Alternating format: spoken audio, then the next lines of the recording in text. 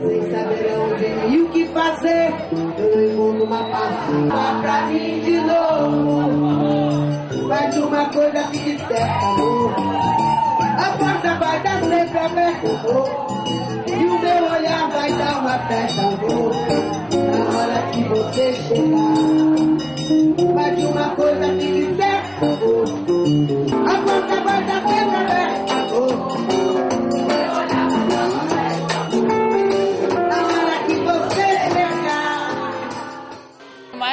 Importante aqui em Salvador e hoje, 10 anos de Jan Selson no Museu de Arte Moderna, presença ilustre de Elza Soares, um dos ícones da música popular brasileira, né?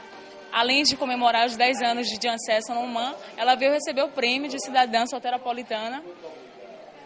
Dois grandes motivos para estar na cidade.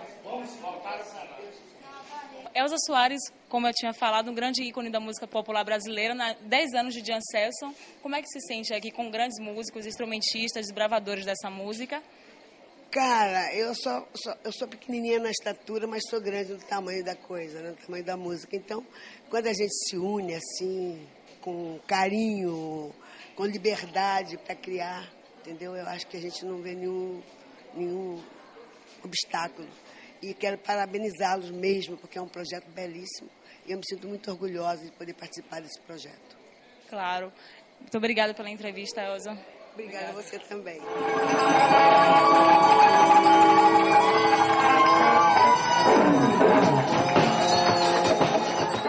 Agora com Jerônimo, ninguém melhor como o Jerônimo para falar de axé, né, Jerônimo? Então, um dos grandes instrumentistas também da cidade, tem um trabalho importante também na música instrumental local. Queria que você falasse um pouco dos 10 anos após a Jan Sesson, como é que é a música afro-baiana para Jerônimo? Olha, em primeiro lugar, quero agradecer, muito é, agradecer por você me dizer que eu sou um dos músicos da, que faço parte do pessoal do instrumental. Eu sou o pior músico deles. Mas eu no groove dou para enganar, ninguém nota, entendeu? Mas o trabalho que os meninos fazem, é, dos 10 anos de música instrumental, e eles experimentam jazz e música afrodescendente. Isso é, é, uma, é, uma, é um fortalecimento da cultura, porque aqui, nessa terra onde nós vivemos, ninguém é preto, ninguém é branco, todo mundo é misturado. Então, por sermos misturados, temos várias tendências, mas, acima de tudo isso, o mais importante é esse trabalho que essas pessoas fazem.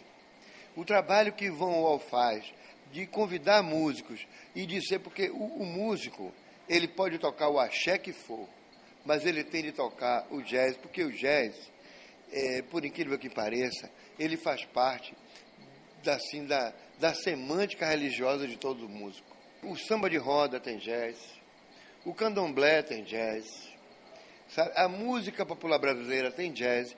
Então, eu fico feliz por fazer parte desse pessoal, entendeu? Embora seja um trombonista de terceira classe, entendeu? Porque eu sou compositor, mas trombonista eu tiro onda, entendeu?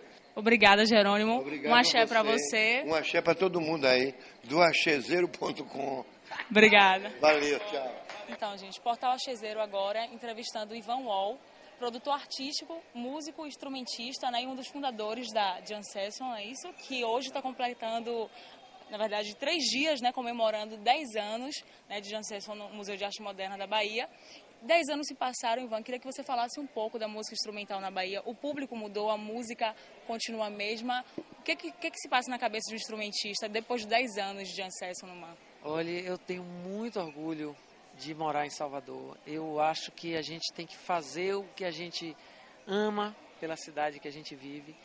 E era uma necessidade que eu tinha como músico de poder expressar meus, minhas habilidades, meus, minha, minha vontade musical. Eu tenho muito carinho, muito amor para dar com minha música e não tinha onde mostrar esse trabalho. Não só eu, eu sou apenas um, mais um.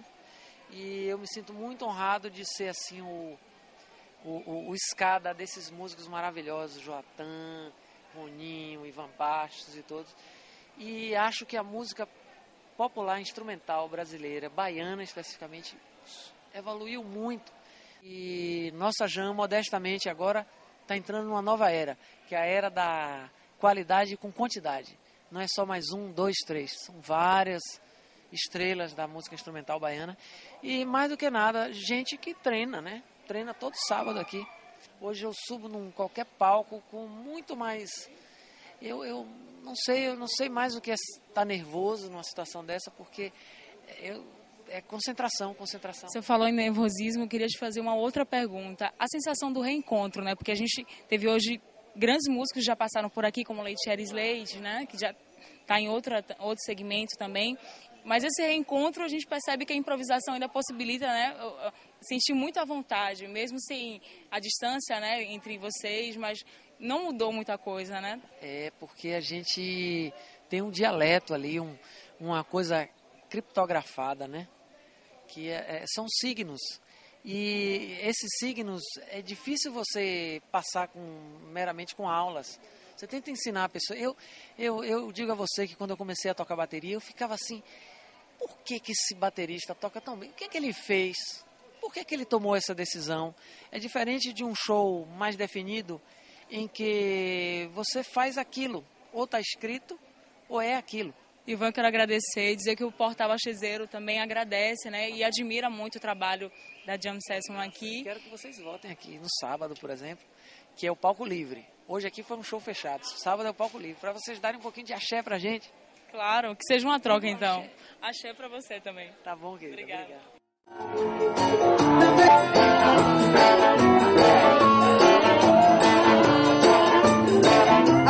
Fosse você Depois de Ivan Wall, Joatan Nascimento, né, com a gente, grande trompetista também, faz parte da história, os 10 anos de história de Jam Session aqui no MAN. E vai falar um pouco também da experiência do reencontro de grandes, grandes musicistas, grandes instrumentistas.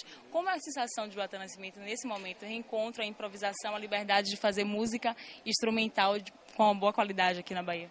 Pois é, como, como, cada um tem sua trajetória, né, sua vida profissional definida, caminhos, né, eu, por exemplo, toco na orquestra sinfônica, atuo com um grupo de choro que eu estou montando, faço, dou aulas, uhum. né? O Letieri já viaja com, né, com o artista. Então, o momento que a gente tem para encontrar essas pessoas musicalmente, né? É um evento como esse, uma jam session. Então, Ivan, com essa sacada dele de manter esse movimento, de conseguir manter isso por tanto tempo, ele proporciona não só pelo aspecto educativo, né? Assim, as pessoas poderem eh, ter contato com uma música, com uma música diferenciada, passar a gostar dela e consumir. Mas também para os músicos, também não só o palco, a experiência de poder tocar, mas também de reencontrar. Logo mais cedo a gente falou com o Jerônimo, né? E uma coisa importante que, ele colocou na fala, que eu queria até que você comentasse sobre isso, é que o jazz está presente em vários, segmentos da música, que todo artista tem que ter um pouco de jazz para se sentir livre, né? Para improvisar. E ele citou candomblé, citou até outros segmentos também, que algumas pessoas não compreendem como o jazz se insere nesse contexto. Eu queria que você falasse um pouco da música afro-baiana e a influência também da improvisação do, do jazz também. Pois é, a improvisação ela não nasce com o jazz, né? Durante a, na, toda a história da música nós temos exemplos da música ocidental, da música africana, da música oriental, exemplos de improvisação. Agora, o conceito de, de improvisação que vale hoje no século XX para o mundo ocidental brotou e germinou nos Estados Unidos com a música daqueles caras dali. Então, o que hoje se faz aqui, citando o exemplo do, do, do Leite Eres, né, que, que permite o trabalho que ele está fazendo com a Rumpelés, ele permite uma fusão desses elementos, a própria improvisação natural da música africana, né, nela em si, com esses elementos do jazz. E você fazer uma composição em cima daquelas claves todas e a partir dali você improvisar. Então o Jerônimo acertou na mosca. Joatão, eu quero agradecer né, pela sua fala, que é extremamente relevante, não só para quem assiste a TV, mas né, para mim, para as pessoas que acompanham também o portal. E dizer também parabéns né, por 10 anos fazendo música instrumental com qualidade na Bahia. Muito obrigado. Achei para você então.